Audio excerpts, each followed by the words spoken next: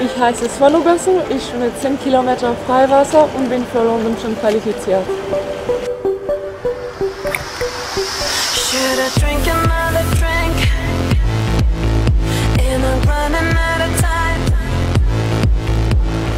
War immer eine Langstreckenschwimmerin, auch im Becken. Ich bin immer 800 und 1500 geschwommen. Aber 1500 ist leider nicht Olympiadisziplin. Und dann habe ich äh, die 10 Kilometer ist Olympia gewesen.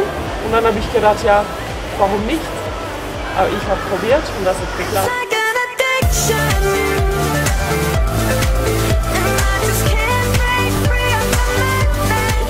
70 bis 100 km pro Woche. Ich mag Warmwasser, ja.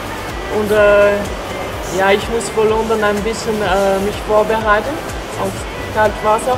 Aber ich glaube, es klappt, weil das ist nicht 17 Grad. Das wird, ich glaube, 2021. und das ist nicht so kalt, ist nicht so schlimm.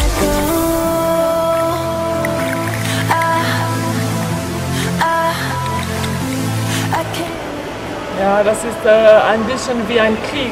Jedes Rennen ist, äh, man muss kämpfen und das ist ganz schwer. Es gibt kein, wir können nicht vor dem Rennen sagen, ich mache so oder so.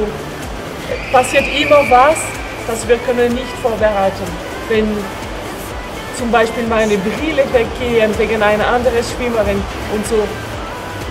Ich will so, ah, aber ich kann nicht. Ich muss nur weiter schwimmen. Ruhe bleiben. ja. Hast du schon mal eine Brille verloren? Ja, ja, schon viel.